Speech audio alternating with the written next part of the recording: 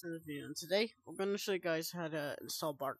Alright, so um, Bark is installed by using Discord. So we're going to open up Discord real quick let it load.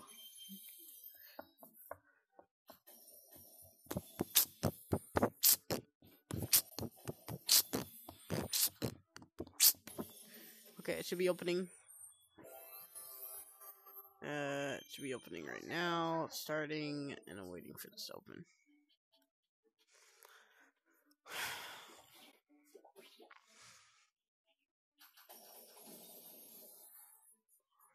Okay, so. Alright, so. To install. Um. There you go. Okay, so here's how to install. So I'm gonna go down here. You wanna go all the way down here till you see. Um. What that? the, the modding Discord right here, the modding one.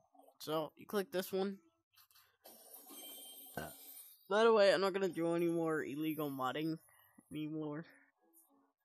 Plus, my game is gonna have to stay by its standards. Anyway, so Bark Mod menu got an update.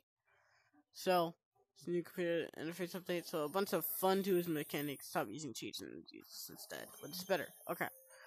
Now, um, I'm gonna react with that. Uh, so you want to just go here, click this, right?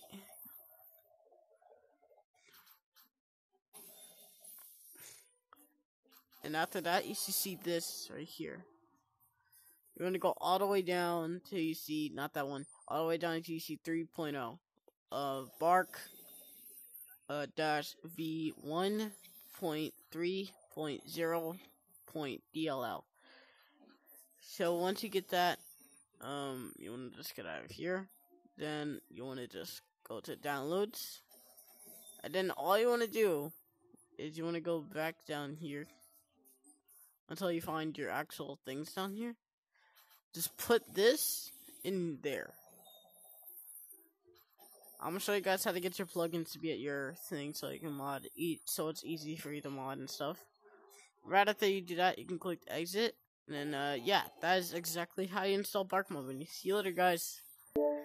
And you do not have to click install an update in order to do